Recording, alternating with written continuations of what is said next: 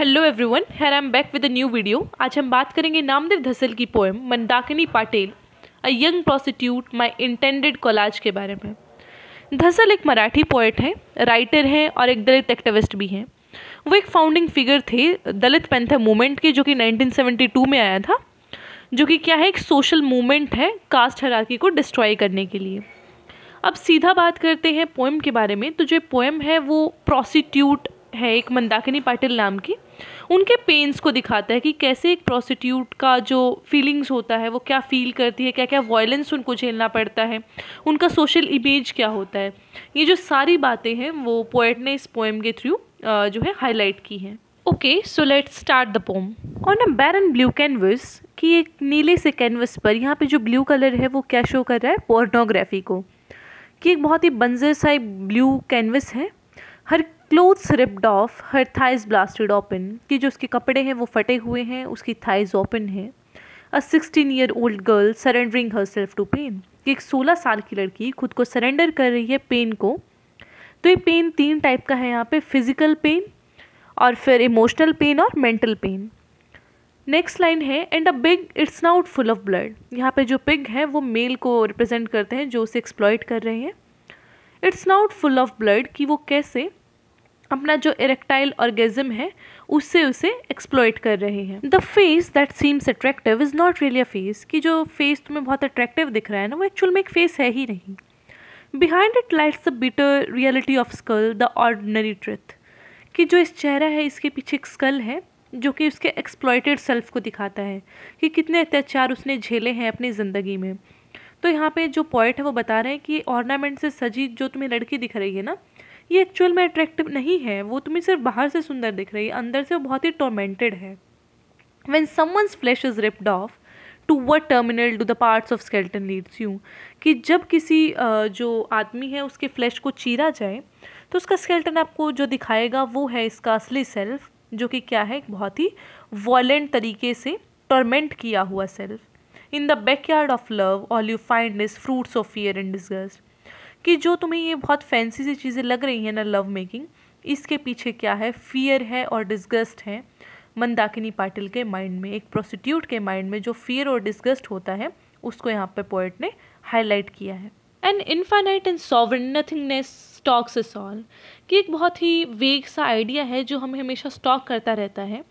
People whom we regard as our own are mere heaps of dust कि जिन लोगों को हम सोचते हैं ना कि हमारे अपने हैं और ये हमारी हेल्प करेंगे वो ही हमें क्या करते हैं? हमारी बॉडीज़ को रिप करते हैं। अलिफ इज़ फॉर अनार बी इज़ फॉर बंदर पी इज़ फॉर पंखा टी इज़ फॉर तलवार T is for tattoo C is for समार। तो अपना एक अलग ही वोकेबलरी प्रेजेंट करते हैं जो लेटर्स हैं उनके लिए। कि देखिए, हमारा जो वोकेब है ना, हमारा जो लेटर्स है, हमारा जो लैंग्वेज है, वो बहुत अलग है आपसे। हमारा कल्चर अलग है, शायद इसलिए आप हमें एक अलग तरीके से देखते हैं, आप हमें इंसान नहीं मानते हैं और हमें बहुत गंदी तरह एक्सप्लॉयट करते हैं। दरअसल यहाँ पे जो कमाठीपुरा है, उसका एक डिस्क्रिप्शन हमें देते हैं कि ये जो एरिया है वो पिम्स का sex workers petty criminals homeless persons beggars और थीव्स का है। नामदेव इसके बारे में बोलते हैं कि they are my people this lump in I am one of them my poetry is about their life मतलब कि मैं इनमें से एक हूँ, इसलिए जो मेरी पोइट्री है वो भी इनके बारे में ही है। विजय तेंदुलकर इसके बारे में लिखते हैं कि this is a world where the night is reversed into the day कि एक ऐसा एक अलग ही वर्ल्ड है जहाँ पर रात को ही सारे दिन वाले काम होते हैं। Where stomachs are empty desperation against the death जहाँ पर खाली पेट होते हैं और लोगों के अंदर डेस्परेशंस होता है अगेंस्ट द डेथ मतलब कि जो यहाँ पे कौन से कौन से काम होते हैं? प्रोस्टिट्यूशन होता है फिर बेगर्स थीज ये सारे जो काम हैं वो रात में होते हैं तो वो बात लिखते हैं विजय तेंदुलकर। चित्रे के वर्ड्स में अगर इस चीज़ को पुट करें तो वो बोलते हैं कि जो नामदेव हैं, वो अपना जो एक्टिविज़म है, उसे अपनी पोइट्री से सेपरेट ही नहीं करते हैं। उनके लिए जो पोइट्री है, वो ही एक्टिविज़म है और एक्टिविज़म ही पोइट्री है। तो ये था critical approach to the poem अब कंटिन्यू करते हैं पोएम को। So is the worship of the geographic counters of the man and the romance of arse fucking तो यहाँ पे वो एक जो इंटरकोर्स है, उसका इमेज प्रेजेंट कर रहे हैं। कि जो मैन है they only want to you know engage into the romantic relationship with a women वो वैसे उसका कोई रिस्पेक्ट करते नहीं है। Manda your mind is neither of ash nor of marble अब वो मंदाकिनी पाटिल को मांडा कह के एड्रेस करते हैं कि मांडा, तुम्हारा दिमाग ना तो किसी राग का बना है, ना ही किसी मार्बल का बना है।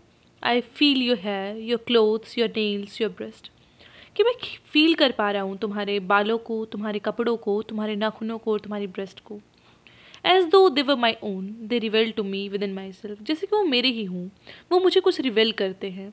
Colonies of death hunchbacks left to die in the streets वो मुझे रिवेल करते हैं उन लोगों के एक सर्कमस्टेंसेस को या फिर सिचुएशन को, जिनको सड़कों पर मरने के लिए छोड़ दिया गया हो। Sandwiches streets milk of she dog that just give birth to her litter तो बोलते हैं कि अब जो हमारा डिस्क्रिप्शन है प्लेस का, वो प्रेजेंट किया गया है।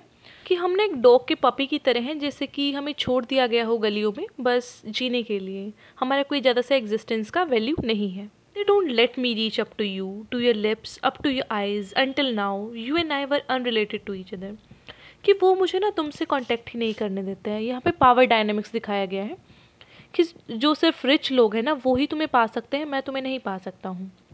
अभी तक हम एक दूसरे से अनरिलेटेड थे। And there were no calls to each other burrowing holes in us कि हम दोनों में कुछ सिमिलरिटी है। हम दोनों ही अंदर से मतलब बिल्कुल खोखले होते जा रहे हैं। We don't have aspirations in our life लेकिन फिर भी हमारी जो एक कॉमननेस है, उसको कोई एक मीडियम नहीं मिला था बातचीत करने का। This period is as long as ten miles is close as ten seconds and in its area तो बोल रहे हैं कि ये टाइम ना बहुत लंबा है। You me seeds a splinter of glass nibbling us and a thousand states of being कि ऐसा लग रहा है मानो कि कोई एक शार्प पीस ऑफ़ ग्लास हम दोनों को काट रहा हो। एक थाउज़ेंड स्टेट्स ऑफ़ बीइंग में बहुत सारी जो आइडेंटिटीज़ है उसके अंदर। मतलब हमारा कोई फिक्स आइडेंटिटी नहीं है। हम कोई एक पर्टिकुलर यू नो आइडेंटिटी के साथ पैदा नहीं होते। हमें जैसा हमारा सिचुएशन होता है उसके साथ ही जीना पड़ता है। Never before has I seen a face so devoid of light कि मैंने ऐसा चेहरा कभी पहले नहीं देखा जिसका बिल्कुल चाम ही उड़ गया हो। As was yours and of a thousand other females like you जैसा कि तुम्हारा था और बहुत सारी महिलाओं का है, जो कि तुम्हारे जैसी हैं flashing out from so many countries and so many cages जो कि अलग अलग देशों से हैं और एक कॉमन केज में बंधी हुई है and are bearing so many different names लेकिन उनके नाम अलग अलग हैं। मतलब वो यहाँ पे जो एक प्रोस्टिट्यूशन का पूरा एक यू नो वेब है, उसको दिखा रहे हैं कि कैसे जो बहुत सारी विमेन है, इसके अंदर फंसी हुई है and they are being tormented day by day लेकिन उनको कोई भी बचाता नहीं है। Now I have developed the taste for the wither tree as well as its dried up बाग लेकिन अब मैं जो तुम्हारे पेन है, उसको अंडरस्टैंड कर पा रहा हूँ। I have been dazzled up by you wan down in lacklustre face कि जो तुम्हारे की अनएस्पायरिंग सा फेस है ना, मैं इसकी तरफ़ बहुत ज़्यादा आकर्षित हो रहा हूँ। From that lacklustre look you descend into me and on me कि तुम्हारे इस अनएस्पायरिंग फेस से आकर्षित होकर ऐसा लग रहा है कि मैं तुमसे कनेक्ट हो रहा हूँ। तो एक जो सेंस ऑफ़ कनेक्शन है यहाँ पे वो शो किया गया है। You make anguish scream inside me and stream inside me and appropriate me कि तुम मेरे अंदर ना एक गुस्से की आग को जला देती हो? Is that the scream of an ending क्या वो एक एंडिंग का स्क्रीम है? एक चीख है अंत की? या फिर is it the end itself a scream beginning या फिर एक जो चीख है, वो शुरुआत की चीख है? The end is a scream an unregretted event कि जो एंड है, वो अपने आप में ही एक चीख है। An amended constitution and its pretence of reform कि जो हमारा कॉन्स्टिट्यूशन वो प्रिटेंड करता है कि ठीक है, हमने कॉन्स्टिट्यूशन बना दिया तो रिफॉर्म हो गया। लेकिन ऐसा नहीं है। सिर्फ़ कॉन्स्टिट्यूशन बनाने से रिफॉर्म नहीं आता है। उससे सिर्फ़ आप पॉलिटिकल राइट्स दे सकते हैं। सोशल राइट्स के लिए आपको ग्राउंड लेवल पर काम करना पड़ेगा। People stern by darkness them सिर्फ़ टर्न इन टू डार्कनेस कि जो लोग हैं, वो इस डार्क वेब के अंदर फंसे हुए हैं। Sparrows come out of darkness flying and then they drop dead कि जो भी लोग इस डार्कनेस से बाहर आने की कोशिश करते हैं, उड़ने की कोशिश करते हैं तो उनको मार दिया जाता है, रोक दिया जाता है ये सब करने से। The wings grow enormous and put a world war to shame कि जो उनके उभरते हुए विंग्स हैं, उनको काट कर ये जो पूरा वर्ल्ड है, उसको शेम में डाल दिया जाता है। मतलब एक ह्यूमैनिटी पे क्वेश्चन लगा रहे हैं कि जब ये लोग एस्पायर करते हैं कुछ यू नो अपने डेवलपमेंट करने का, कुछ बड़ा करने का, तब इनको रोक दिया जाता है। इनके रास्ते में बहुत सारे हर्डल्स आते हैं।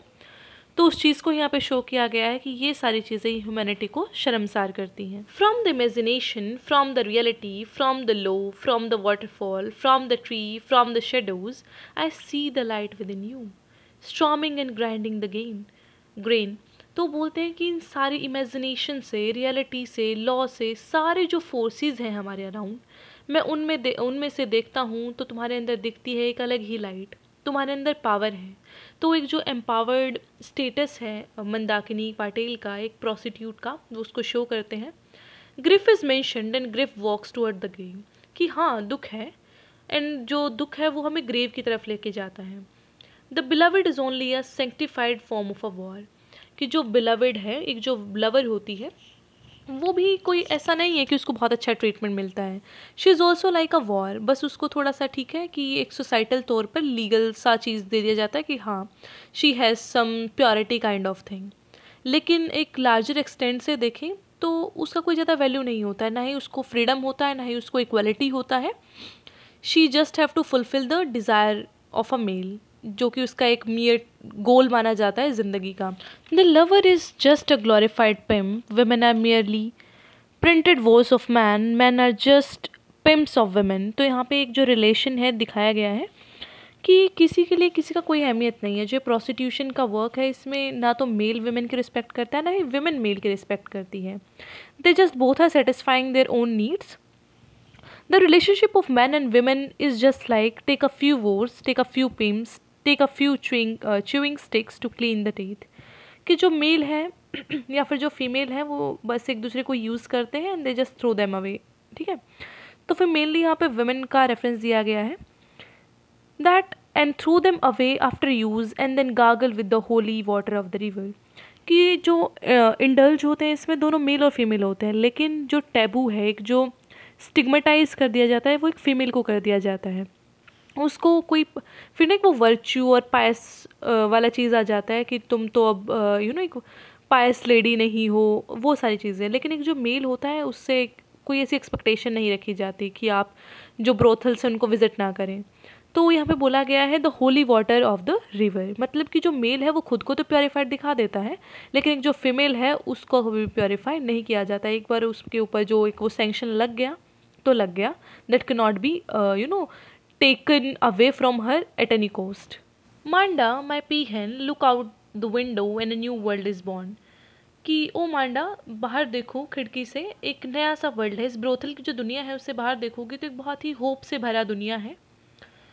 जो चीज़ें हैं तुम्हें जो बहुत ही टॉमेंट करती हैं उन्हें तुम्हें छोड़ना पड़ेगा। Embrace skin deep love a whirlpool of illusion that's a spell bounding all the time that's not a whirlpool but me mere silt and it's just a slave to ones कि जो तुम्हारे वुंड्स हैं, उनको तब तभी तुम cure कर पाओगे जब तुम एक hope देखोगी outside the window cuts off the leg of an art with an axe it will crawl it till it collides with the end कि अगर हम एक, जो आंट होता है, एक चीटी होता है, उसके पैरों को काट दें तो फिर भी जो अपने घुटनों के बल है, चल के वो एंड तक पहुँची जाएगी। तो इसी तरीके से हमें पता है तुम्हें बहुत टोमेंट किया गया है, लेकिन still you have to crawl to your end तुम्हें अपना जो गोल है, अपनी ज़िंदगी का जो एक लक्ष्य है, उसे प्राप्त करना होगा by you know walking with your legs मतलब अगर उनको कार्ड भी दिया गया है तो तुम घुटनों के बल चलो, लेकिन जैसे भी करके अपनी चीज़ों को अचीव करो, ऐसे हिम्मत मत हारो।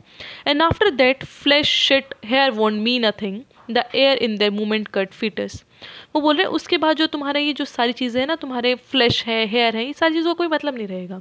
फिर तुम एक नई जो उमंग है, उसके साथ जियोगी।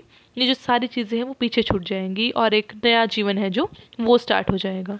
Is in what you gave to one man and what took from him enough for you you hallucinate the darkness is a tree the sky a sea a flower a bed hallucination cheats and leads to the grave कि जो तुम्हारी जो ज़िंदगी है ना, वो तुम्हें change करनी होगी and you have to see the hope outside as I already told you that you have to look outside of the window to see the ho to see the hope which is lost inside you the old madam which keeps you cased she is known to people as destiny कि जो old madam है ना, वो जो तुम्हें बाँध कर रखती है वो ही लोगों की डेस्टिनी डिसाइड करती है। She sees is a best and turns it to the dust कि मतलब वो जो यंग यंग गर्ल्स हैं, उनको इस जो एक वेब है प्रोस्टिट्यूशन का उसमें धकेलती है और उनको एक धूल की तरह बिखेर देती है। People who eat her up and survive defied death and lead words life कि जो अमीर लोग हैं, वो सिर्फ़ पैसे के बल पर ही तुम्हारा एक्सप्लोइटेशन करते हैं। जो कि एक बहुत ही कैपिटलिज्म का भी कॉन्सेप्ट यहाँ पे दिखाया गया है कि कैसे पैसे के बल पर एक जो इंडिविजुअल है उसको एक्सप्लॉयट किया जाता है। Now I see the furniture in the cafe dancing chairs tables glasses waiters customers bread cashier butter deep in a lukewarm silence you sit crouched looking at the luminosity in the glass and in the cat's high जो एक silence का ट्रोप है वो यहाँ पे दिखाया गया कि कैसे हर जगह एक शांति फैली हुई है। You people are silent everything is silent all the round अब तुम्हें जो अपनी आँखें हैं, उनसे ही एक होप है जो उसका रास्ता देखना होगा। Delving into the grain waves with your hands instead of extracting minerals from the surface, recovering compassion from it, कि मुझे तुम्हें ना डीपली जानना है, कोई सरफेस लेवल पे नहीं जानना, क्योंकि अगर मैं सरफेस लेवल पे जानूँगा तो अच्छे से तुम्हें समझ ही नहीं पाऊँगा।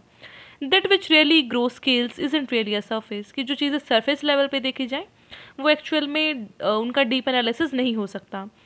Flames refuse to look at the scales, only Ash star, uh, stare at them and sneezes and continues to leave. People who are merely involved in living are actually dead and gone cold. कि हम जो जो हमारा basic test क्या है सिर्फ़ breathe करना हमारा कोई एक गोल नहीं है कोई आइडेंटिटी नहीं है तो इसको जीना नहीं भूलते हैं एक मेयर ब्रीथ करना इज़ नॉट अ लाइफ तो बोल रहे हैं कि इसका मतलब ये है कि we are dead we are you know we have gone cold तो एक वो जो लाइफलेस इमेज है, उसको दिखा रही हैं कि सांस लेने को मैं लाइफ नहीं मानता हूँ, जब तुम्हारा लाइफ में कोई मिशन ही नहीं है, कोई एक गोल ही नहीं है, कोई आइडेंटिटी नहीं है, कोई तुम्हें रिकोगनाइज नहीं कर रहा तो what is life to you क्या सिर्फ़ सांस लेना लाइफ रह गया है? तो उस चीज़ को बिल्कुल डिनाई कर रहे हैं कि then we are actually dead fall in love and into a tangle of love and mind your eyes are flame and your touch sparkle are revolution फिर वो जो मंदाकिनी है, उनको एक बहुत ही सेक्रेड और pure image of goddess Kali के रूप में देखते हैं कि जो तुम्हारी आँखें हैं, उनमें एक फ्लेम है। Your touch spark a revolution कि जो तुम्हारा टच है, उसे एक रिवोल्यूशन का स्पार्क जनरेट होगा।